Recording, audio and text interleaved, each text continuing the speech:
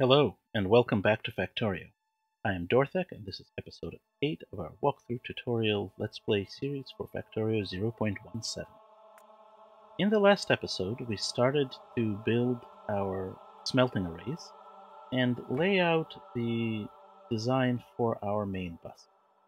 In between episodes, I completed this little section of array, and I beefed up our resources here on the west side a little bit. Uh, I doubled up some uh, of the turrets, put them in uh, protective little forts, so that we can uh, better hold off the biters. As you can see, there's been a lot. I've also run some more belts, coal, iron, and copper, to start running these arrays. I have not, however, hooked them up, because we're going to do that together. So, the first thing we're going to do is connect coal. Now, as I mentioned before, these arrays, when they're fully set up, will eat a complete belt of ore, but they need far less coal. So you can share a single belt of coal between many arrays, which is what we're going to do. As you can see, some will go to provide this array, and some will skip to the next one. And that will start getting materials into our melt. So this first array we will use for iron, and we may change that later. The nice thing about these arrays is they're very easy to reconfigure. Cut the ore, let them drain out of materials, and then connect something else, just making sure you connect the output correctly. And as you can see, they're producing already. Now, of course, we're not going to be able to feed them a whole belt of iron ore right now. We're getting a full belt because it backed up, but if we look back where we're producing it, we're producing much less than a full belt. And half of that is going up to our old base. Which is fine, since our old base also needs to keep running for a while. But we're certainly not going to be producing a full belt. Over here I've brought out copper, and it's a little bit uh, tricky. There's a little bit of spaghetti going on because I wanted to continue feeding our old base as well as feeding into the new one. And I wanted to avoid running it over patches of ore as much as possible. Now over here, you'll find that I can't go any further because this cliff is in there. Later on we'll be able to get rid of the cliffs, but for now we can just jump over them with um, with undergrounds. So this will come in here and produce a little bit of copper. Let's uh, do the next thing. This is gates. It lets us uh, create gates that we can open in walls, uh, which is a nice thing once we have more walls built up. So, let's see what we have here. Here comes copper. We've got copper. We've got iron. We have some production. The very first thing we need to build on this bus is the production of two vital intermediate resources. The first is iron gears, and the second is green circuit. That's what we're going to do next. We're going to put one on one side of the bus and one on the other. It doesn't really matter which is which. So let's put iron gears on this side. Now, because we have these cliffs, uh, I'm going to start it just a little bit, bit past here. If we look, iron gear wheels take two iron plates and produce one gear every iron gear wheel every half a second. So there's a couple of things going on. These are fast, and these are also efficient. This is why we want to have them on the bus, because each iron gear takes the space of two iron plates.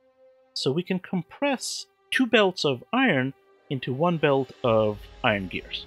What we're actually going to do is compress four belts of iron into two belts of iron gears, but not right away.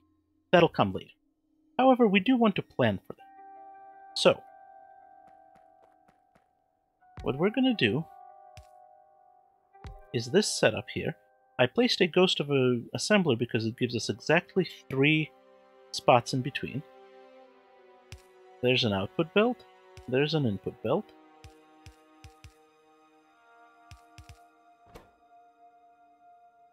And we can shift right click on one machine and then shift left click on another machine to copy the recipe, where we can see that what we need is two iron plates every half a second. Well, that's quite a lot of uh, iron. Our fast inserters currently swing once per half a second, so they're delivering not quite enough, but we will later upgrade them. And this machine is not actually working at full speed, it's only crafting speed 0.75, so we'll probably be okay with a single blue inserter. We really want to make sure we could place two, but we're going to save some resources. Our next resource is some more rail uh, railroad stuff. And then we're going to output to, to our output belt. Now, again, there's many different ways to build this. This is how I tend to build it.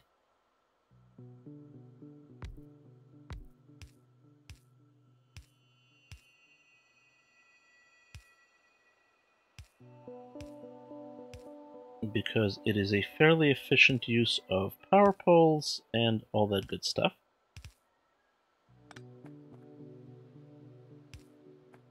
Now this here becomes what we call a tileable block.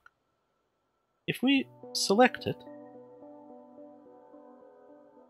we can go up here, and if we overlap the power poles so that they exactly match up, you can see the, the them turning blue means that they're matching up, we can place another chunk, and another chunk, and another chunk. Now this would work fine, and we can save this as a tileable blueprint. The problem is this blueprint can take two belts of iron and output one belt of gears. What we want long term is to take four belts of iron and output two belts of gears. Now, we can do it by simply adding a second one of these over here and let it uh, and just make it twice as wide. And that's fine, but it's not optimal. Oh, we've got some gunfire over here. Looks like the biters from this side are starting to attack. Let's just make sure they have that we have ammo in here. And what I do is I just fill it, 200 is the most it'll take, and then control right click to have, have, have. Uh, I'm finding, uh, I find 25 magazines or so are okay for the moment. hopefully we will catch things before we need more than that. And if we look at the map, I'm seeing an attack over here, which was also held off. We will need to go and refill those guns very soon. Uh, oil processing is the next thing we will research. We're a long way from using it, uh, but it is a critical uh, step further down the road. So while this will work, it's not very compact. And there's nothing wrong with not being compact. The space is infinite in Factorio, but personally, I prefer a different design. So I am going to hit Control Z several times to undo that. And I'm going to do a slightly different design. So we're going to delete this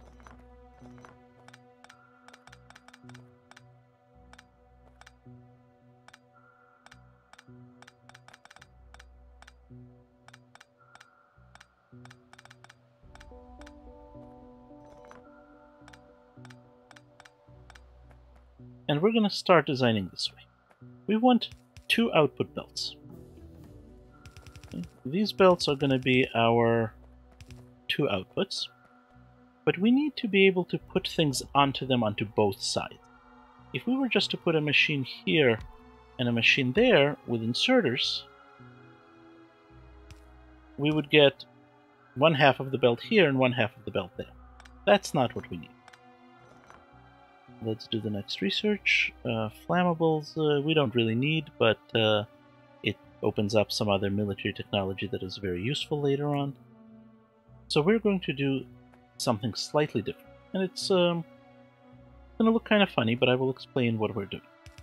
We're going to place two more belts here. Uh, let's see, sulfur, which we definitely will need soon. Or not soon, but once we get oil and put our machines there.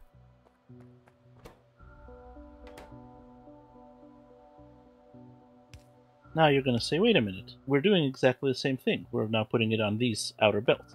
And that is true, but there's more tricks up our sleeve. So the first thing we're going to do is combine these belts.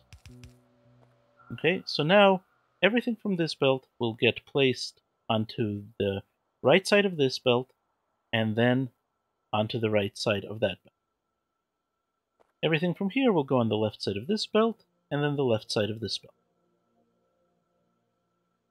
But by putting this here, we're going to mix the two belts. And I'm going to hook up this much of the base to show you how that works. Because this is a useful thing to see. So let's go down here. And we're going to say that these four, first four lanes are going to be our iron lanes for feeding the gear maker. Now obviously we can't even feed a single one of these lanes in full yet, but that's okay. Let's go over here. Where's our gear maker? There it is.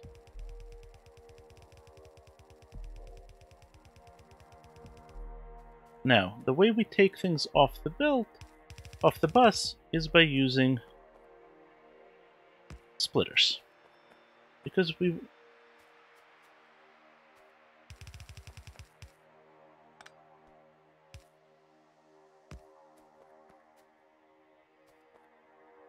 we need power.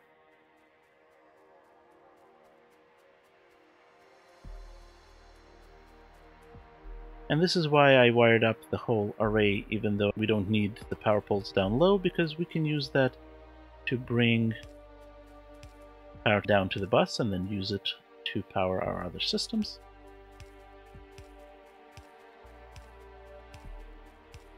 we will come off to here.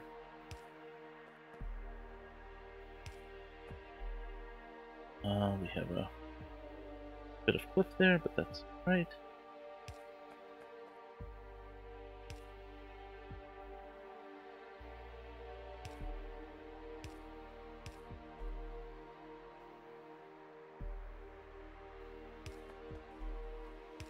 So, as you can see, they're going onto the inside of the spell. Uh, let's remove this. Just to show. But now, they're mixing. And now we've got both sides. This is not very efficient as it currently is because we're really not utilizing the full benefit of these belts. But we will add more by adding more machines and doing a few more tricks.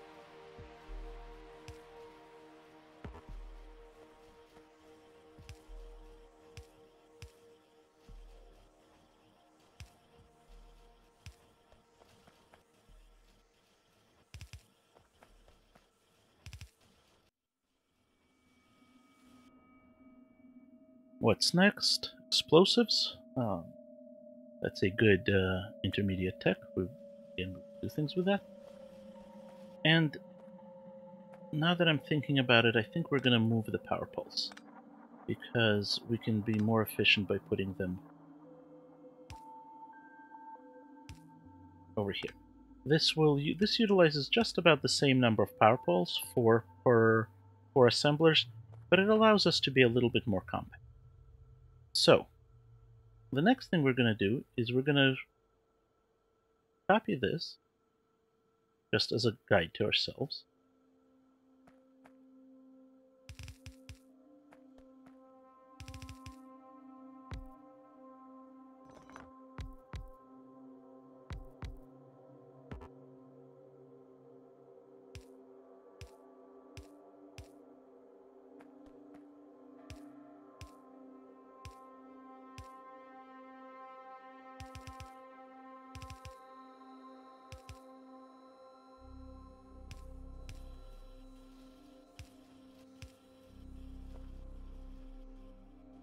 But here comes our trick.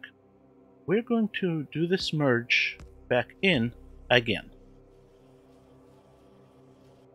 Yeah, I set this up incorrect. I forgot uh, that I need to give up some efficiency on uh, power pole.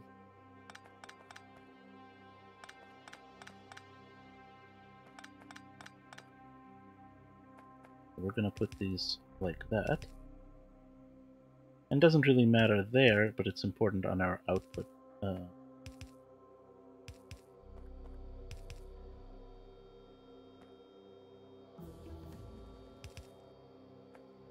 All right. Yeah.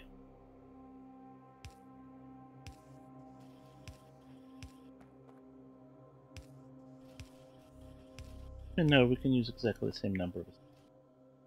And the reason we want to do this is that we're going to take these and feed them back in.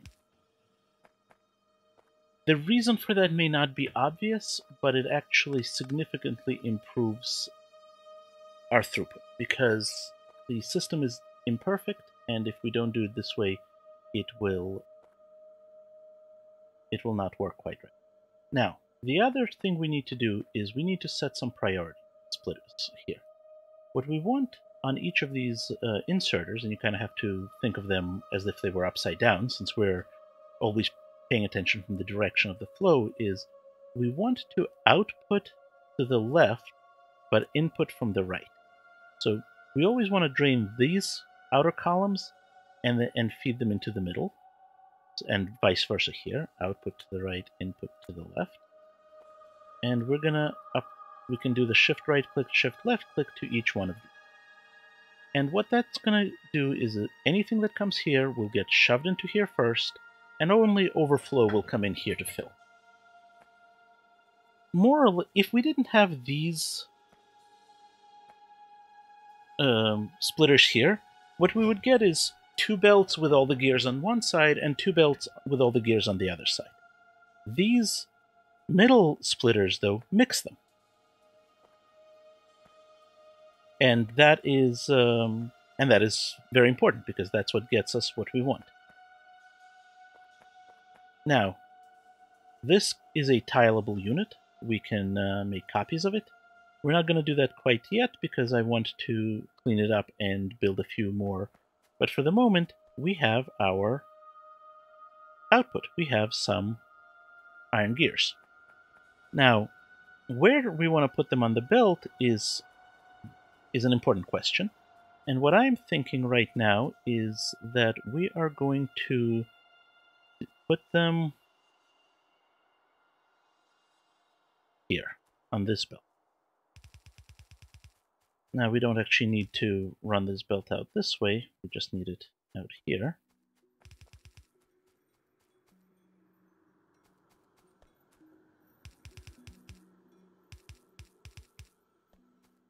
Now, what we need to do is start skipping because this will put us put it around this will let us get around our intervening belts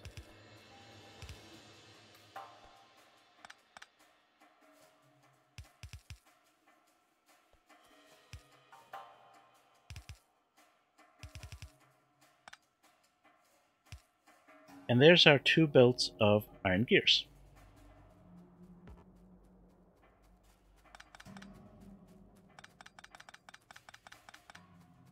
Now, we also need just plain iron on our bus.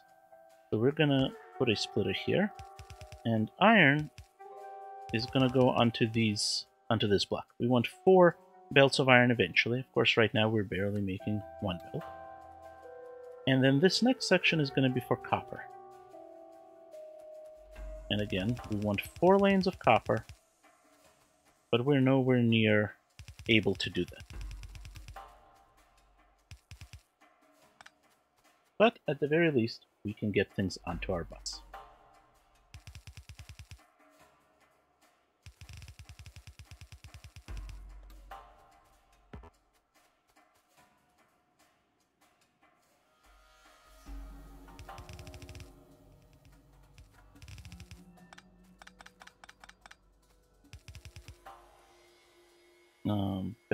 Again, very useful much later on. Alright, now on the other side of our array, we want to build green circuits. And again, there's many ways to build this, but for this particular exercise, I'm going to use an existing blueprint because it is a really good blueprint and it's what I want to demonstrate. This is another blueprint that I got from Katherine of Sky from KOS. So I will provide a link to it because it's definitely not my blueprint but hers. So this is kind of a wide array, but that's okay. We want a wide array. I'm going to do shift click. And the first thing we need to do is clear out these rocks.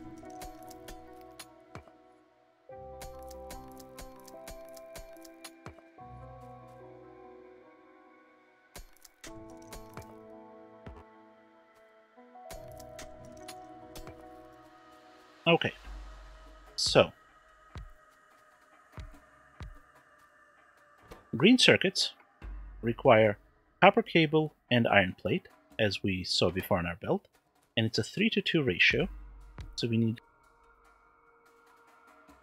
three copper cable assemblers for every two green circuit machines. Now, what we want is four belts of green circuits. Okay, this is our output belts right here. Again, we're not going to be able to build all that right away, but that's our goal. So we are doing a little bit of future proofing here. And to make four belts of green circuits, we will eventually need four belts of iron and a whopping six belts of copper. You remember I said we would need 10 belts for this, and we in fact do. Now again, we're not going to need all of it right away, because it is... We're nowhere, we're neither able to provide enough materials, nor need this much produced right now.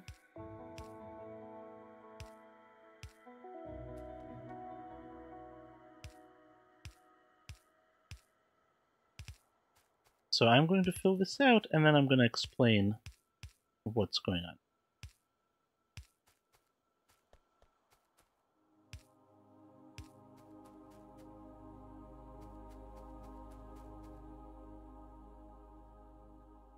I'm just going to run this electrical line up right now, ignoring bus locations. We will eventually need to rearrange it so that we don't interfere with our bus. But for now, I just want to get powered up. What's our next research? Accumulators. Again, we're a long way from there, but... Uh, what tends to happen, especially at this stage in Factorio, is the research happens much faster than we can really use the... than we can really use it. Oh, and we need to...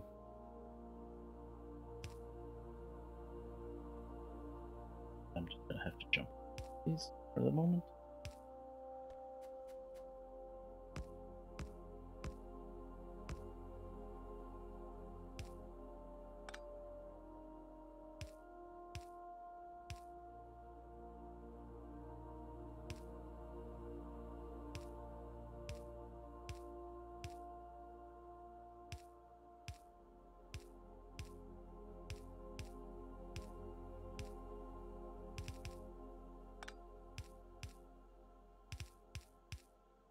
So let's take a look at what happens here. The, these belts will bring in copper. So the these machines will just grab copper off this belt and uh, produce copper cable. This again is a tileable blueprint. We can make copies and paste more of them. So why do we have three belts of copper here? Well, eventually we're going to run out of this belt. When that happens, we will shift the we will shift this copper in and then this copper in and fill them into the array so that we can keep making this array longer and longer until we've used up all three belts. This section is a little more complicated. Here's our incoming iron, and again, we're only using this outer lane of iron. The inner one is there to be shifted in later on. And we're jumping over, but you can we can use the inserters to pull from the uh, from the undergrounds themselves. So that gets us our iron for the assembly machine. The outputs, though, this is a different way to solve the how do we get both sides um, of the belt problem. So this one outputs onto this little belt, this one outputs onto this little belt, and then they come together and this curved belt gets filled. And then this splitter shifts it into this belt, this splitter rearranges it amongst these two belts. The same thing happens on the other side. So the, the end result is that we will get up to four full belts out, out of this array. Again, not right now. So, we need to get it copper and iron, and I designated these lower this lowest section for that. So this is going to be our copper.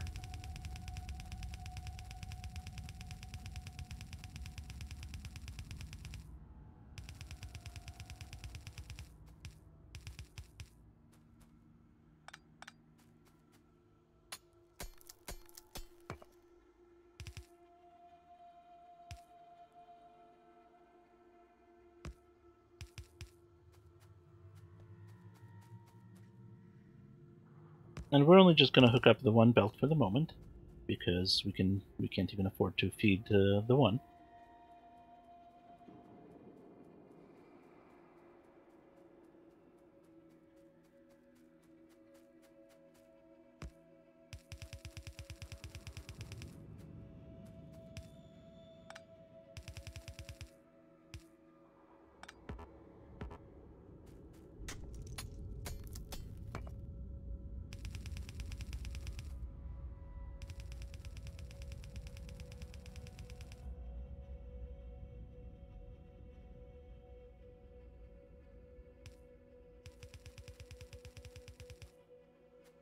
So we need six lanes of copper, that'll be these six. And then we need four lanes of iron, which is going to be these four.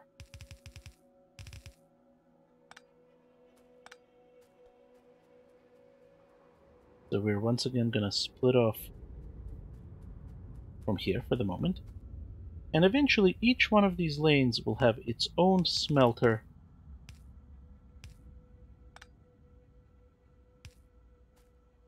array but we're a long way from that.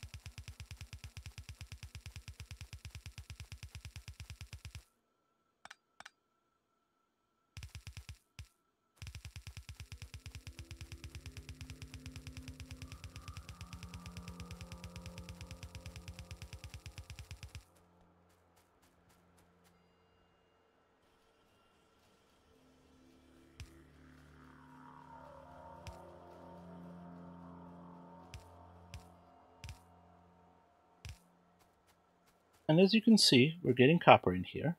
And these machines have produced copper cable, but of course we still need iron.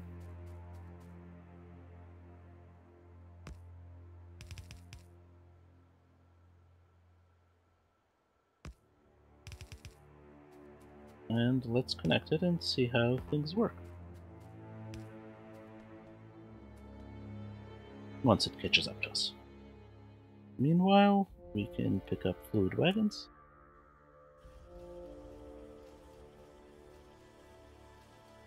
And here we are. So as you can see, this machine is placing it over here, this machine is placing it here. This just kind of pushes it here since it can't output, and then these two spread it. And there's our four lanes of green circuits. We're going to put our green circuits, this is on this belt right here and in this spot.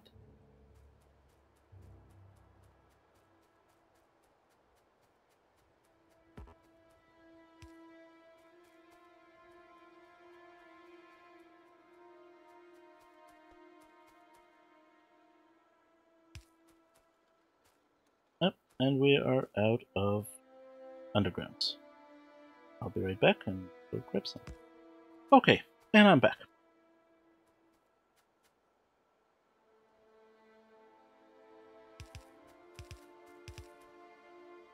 While I went up to the uh, starter base, I also refilled some uh, turrets and beefed up some defenses, because we were starting to need that.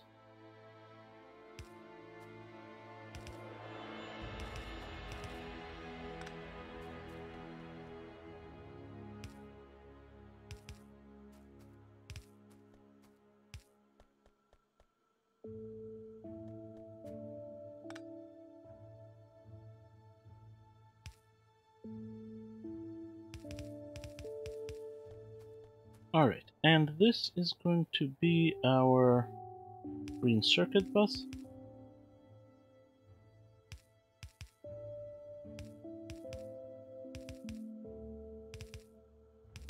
And while we're filling, using all four lanes here, just because we're producing them, as you can see, we're not even close to four lanes. We're not even close to one lane. But that's alright. Uh, I think we're going to put down one more block of this. I'm not sure if we can quite sustain it yet, but uh, it's uh, worth doing, uh, except we don't have enough uh, assembly machines. Well, we can fill that out later. So, we have gotten a very good start on our main bus. We have several of our most important items on here. We have a little bit of iron, a little bit of copper, a little bit of uh, iron gears, and a little bit of green circuits. And that um, will go a long way to getting us uh, up and running. So I declare this uh, this bus officially in use, and um, we'll continue with this next time. We've accomplished uh, quite a bit, so why don't you go ahead and try one of these for yourself? And as always, don't forget to save.